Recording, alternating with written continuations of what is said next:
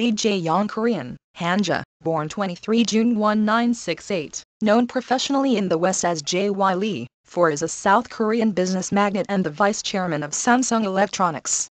He is the only son of Hong Ra-hee and Lee Kun-hee, chairman of Samsung until his death in 2020, and is his father's successor 5 he is referred to as the crown prince of Samsung by the South Korean media and speaks Korean, English, and Japanese 6. As of September 2021, Lee is estimated to be worth US 11 billion, making him the fourth wealthiest person in South Korea 7 in January 2021. Lee was sidelined from taking part in major Samsung business dealings after he resumed serving a prison sentence for a bribery and embezzlement conviction 8. In 2014, Lee was named the world's 35th most powerful person and the most powerful Korean by Forbes magazine's list of the world's most powerful people along with his father 9.